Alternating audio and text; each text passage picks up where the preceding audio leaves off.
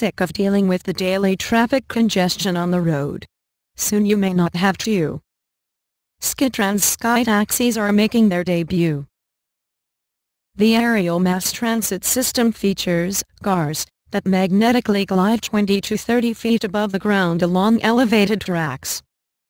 Skytran, based in Mountain View, California, has been developing the system for five years. The pilot project will debut in Tel Aviv at the end of October. The system will run for about 900 feet on the campus of Israel Aerospace Industries, which partnered with Skytran to develop the cars. Initially, just one car will run on the track. The car, which can hold up to four people, can travel as fast as 60 miles per hour. Skytran hopes to eventually add several more cars to its debut system. Related, floating train could whisk you from DC to New York in an hour. If all goes well, the company expects to expand to at least three other Israeli cities and some U.S. cities by 2018.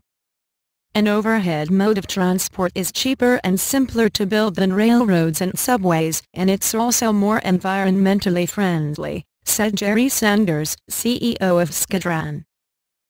It's why we think it's important for the public transportation system, he said, adding that underground systems can cost anywhere between $100 million and $2 billion a kilometer. Surface systems are expensive and eat up a lot of energy with their big infrastructure and carbon footprint, he said. Skytran, meanwhile, costs about $8 million a kilometer, and the cars cost between $25,000 and $30,000 each. It also uses onboard the energy of a hybrid car, said Sanders. Compared to the cost of maintaining and expanding existing mass transit systems, Sanders said Skytran is a bargain for cities.